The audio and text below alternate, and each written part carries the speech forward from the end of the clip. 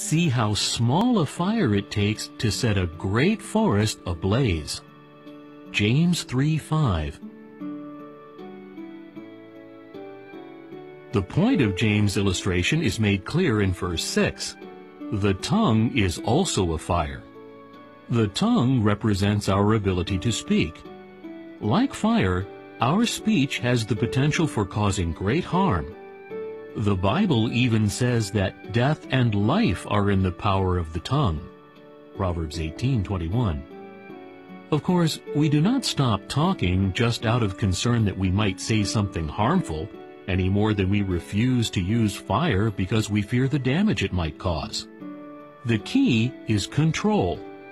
If we control fire, we can use it to cook our food, warm our bodies, and light up a dark night.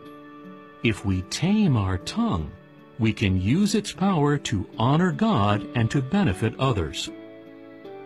Whether we use sounds from our mouth or signs with our hands, the ability to communicate our thoughts and feelings is a marvelous gift from God.